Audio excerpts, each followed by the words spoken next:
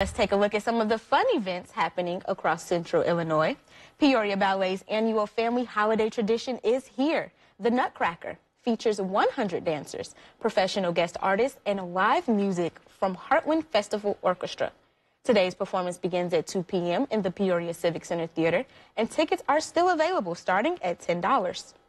And in Normal, Destihl Brewery is hosting its first ever Christkindl Market.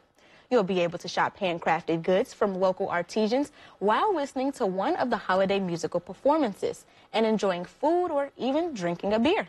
Toys for Tots will also be in attendance to collect donations of new, unopened toys. The market is family friendly and runs from 10 a.m. until 2.30 p.m.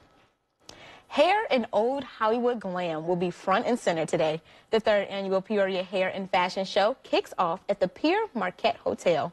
It will feature some big names in cosmetology, including Tiara Wilson, whose work is going viral on social media for her hair transformations. This will be the first time the show incorporates kids on stage. The show begins this afternoon at 3, and tickets are still on sale. You can find the link on our website, 25newsnow.com.